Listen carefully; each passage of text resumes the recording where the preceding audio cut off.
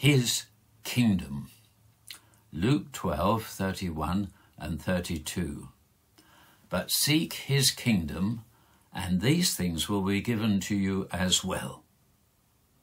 Don't be afraid, little flock, for your Father has been pleased to give you the kingdom. And we felt the Lord was saying, On earth I spoke of the kingdom again and again. I taught that the kingdom of God is within you. I also declared that it is to come, and that it's not of this world. The kingdom is my rule and authority, and it's a kingdom of love and joy and peace. When I spoke, the storm was hushed.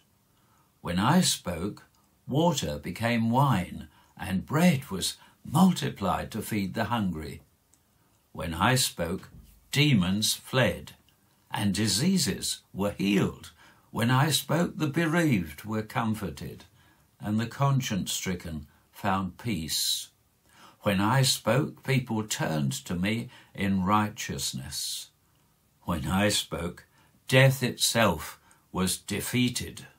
All this is the kingdom being manifested upon earth as it is in heaven. The day will come when the earth is a paradise, and all things work according to my word.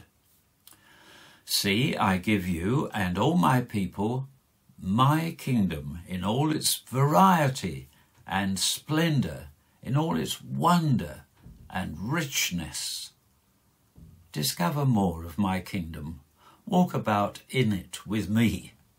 It's a kingdom without walls, for there's no limit to it, and no marauder can come near. It's a place of deep and abiding peace, of overwhelming love, and of great rejoicing. I give you my kingdom in these days. Let it come on earth to all who are longing for better things, all who are seeking me that they might find me. In my kingdom, every work of the evil one will be brought to nothing, and his lies will be silenced.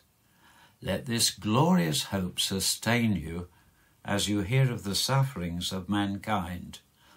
Let this vision excite you as you speak of me.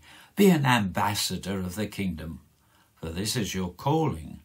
And where you go, let the kingdom come, and let God's will be done. Let's pray together.